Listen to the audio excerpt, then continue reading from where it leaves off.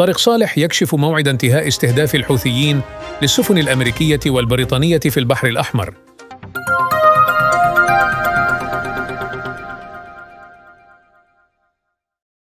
قال نائب رئيس مجلس القيادة الرئاسي العميد طارق صالح في تصريحات أخبارية إذا أردنا تحقيق سلام شامل وعادل في اليمن يجب أن يحدث هذا الأمر ونعمل في مجلس القيادة الرئاسي كفريق واحد لاستعادة الدولة ولن يتم فرض واقع على الشعب من قبل أي مكون حزبي.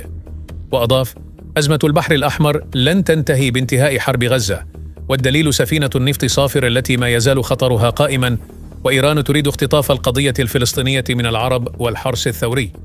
هو من يدير معركة الحوثيين اليوم وذلك باعتراف عبد الملك الحوثي نفسه. واختتم إيران وجماعة الحوثي حضرتا للهجمات في البحر الأحمر منذ اتفاق ستوكهولم المنصرم. وأن إيران تريد اختطاف القضية الفلسطينية من العرب بينما هي بعيدة كل البعد عن ما يحدث لفلسطين وقضيتها التاريخية. فضلا وليس امرا. لا تنسى الاشتراك بالقناة مع تفعيل زر الجرس لتصلكم جميع الأخبار في وقتها.